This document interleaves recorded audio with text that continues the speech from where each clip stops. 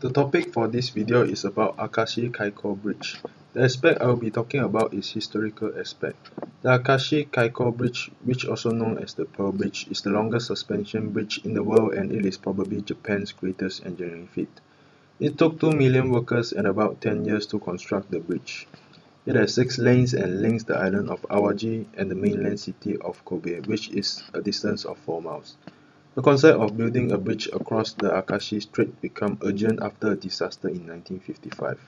A ferry carrying over 100 children sank after colliding with another ferry in the BC shipping lane. This dangerous waterway often experiences severe storm.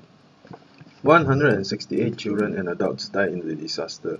Political pressure for a bridge increased and the construction began in 1988.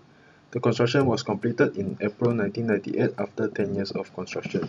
The surrounding around Akashi Strait is a well-known fishery area and the strait is designed as an international channel by Maritime Traffic Safety Act in Japan.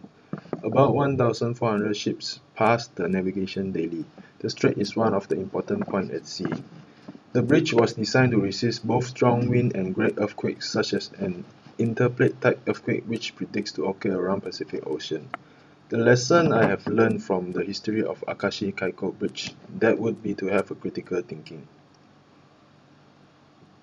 Critical thinking is a kind of thinking which is about any subject, content, or problems which improves the quality of a person's thinking by skillfully taking charge of the structures inherent in thinking.